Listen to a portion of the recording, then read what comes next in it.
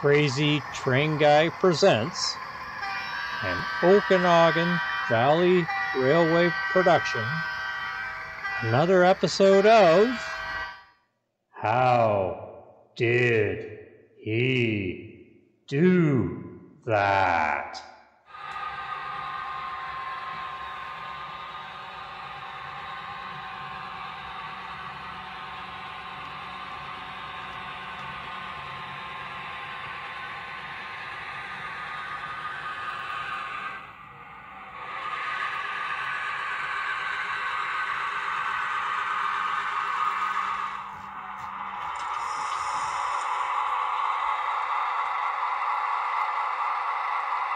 In this video, I'll show you how I made these easy to build and easy to remove wood chip loads. Let's get started. Uh, we have the load here, which as I showed earlier, pops right out. Before I get going, I just want to say, a lot of these ideas are not original ideas. I mean, uh, we get ideas from fellow modelers in the industry, and in this case, it is somebody I know, a friend of mine named John, and I just want to give a shout out to him. He has, a website. His train layout is the uh, Manitoba, Minnesota um, subdivision, uh, CP Rail, and he modeled that for 25 years. He tore it down, and he's now doing the Gateway Spur, which is still CP Rail, Canadian Pacific, and he has a website, uh, which is in the comments below. I just want to give a shout out to John. So let's go. So basically, uh, the, the length of the interior of the car is about an uh, 8 inches, 8 and an eighth. So we're going to go 8 inches long, uh, even.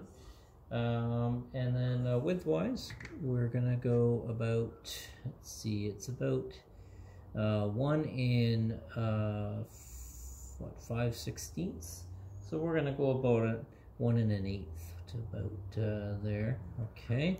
And then depth-wise, we're looking at about 3 eighths, 1 and 3 eighths. So we're going to go on the height, though we're going to go over. We're going to go 1 and 5 eighths just to make sure that um, we have the load is, you want the load to stick up over the car, uh, such as mine does here. But Okay.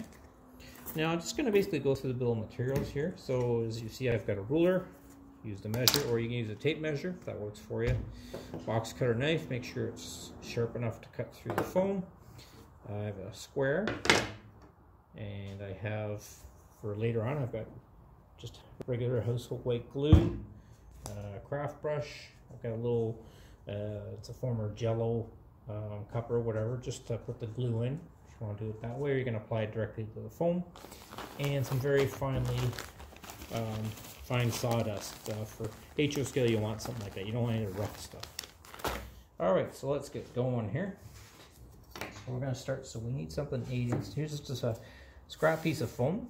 Um, nothing fancy. So we're gonna go with the there. Just square. And then we're gonna go widthwise an inch and an eighth. Gonna go there, gonna go there, there.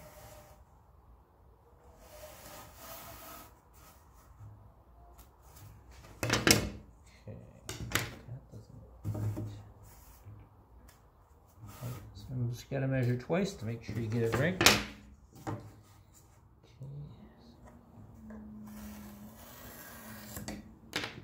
right.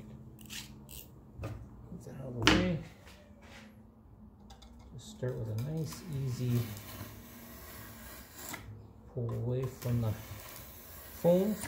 So you get a nice groove in there, and then you can pull the ruler away and just start cutting with that motion until you cut all the way through the foam.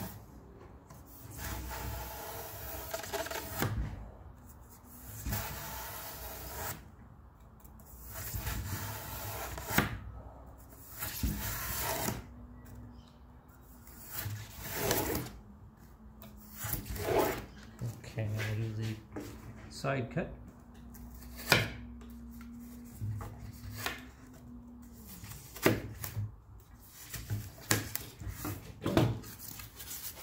Okay, so let's just test this out. Let's see the piece isn't perfect. Okay. a little bit. Take a little sliver off there. There we go. It's not bad. I'm just gonna square off this end as well. Ah, perfect. Okay, so we got a nice fit. So what we want to do now, as I mentioned, inch and 5 eighths up. So we're to go to here. Here.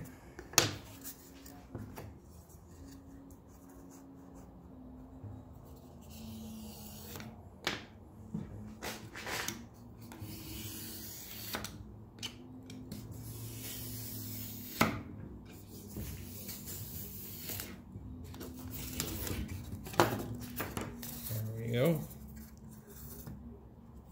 Perfect. So what I'm to do, I'm just going to taper it a little bit there.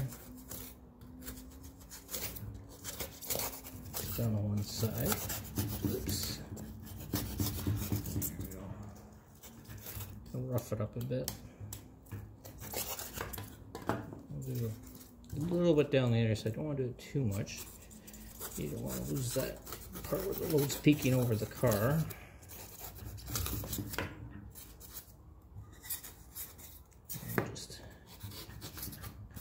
Off a little bit as well.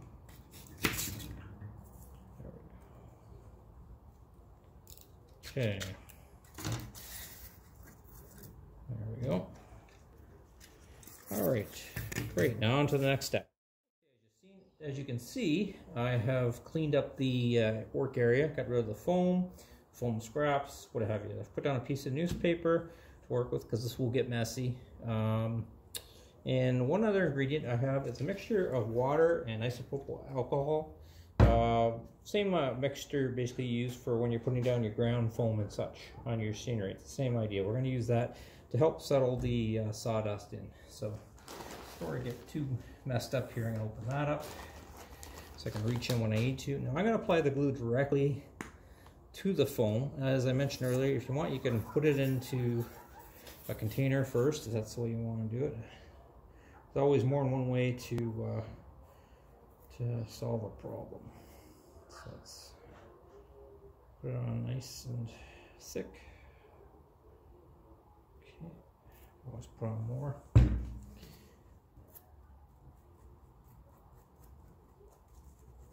Just get the get the glue nice and deep into all the crevices and stuff so you can oops sure you can see that. Okay, great, perfect. So let's get to the messy part. So basically,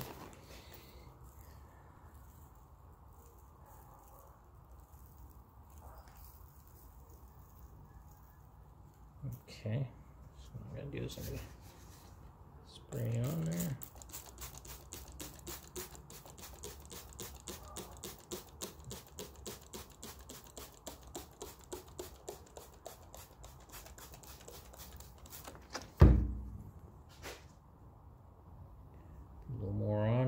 Spots.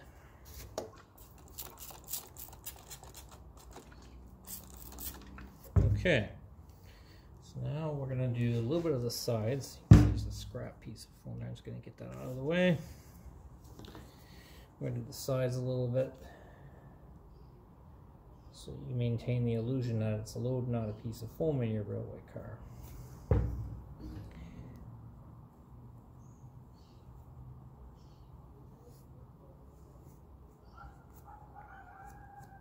Only have almost enough to go all the way around here. We'll do the sides first. Okay.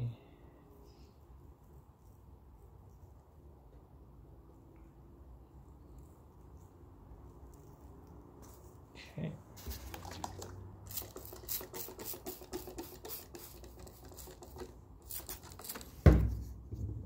By the way, you can, by the mess I'm making, you can that is why I'm working in my garage. I mean, if you got a good work area in your basement or wherever, by all means use it, but make sure you're you've got enough drop sheets down or whatever. If, if you make a mess, you're not gonna wreck anything. Okay, let's do the last side.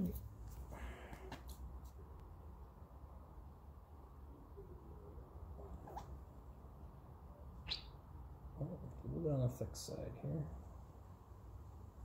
Go.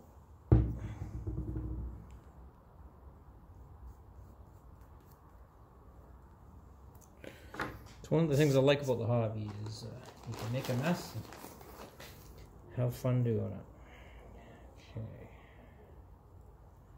And the other thing I like too is when you're doing scenery or loads or whatever, you make a mistake, you can just start all over again.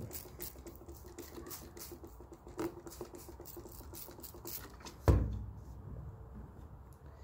don't like the way that came out on the end there, so let's just redo that quickly. And we'll let it dry.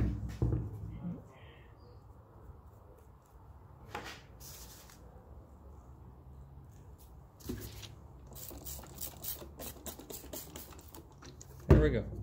So we're gonna let this dry over a few hours or you can let dry overnight if you want and then we'll have a look at the uh, results. That's it for now.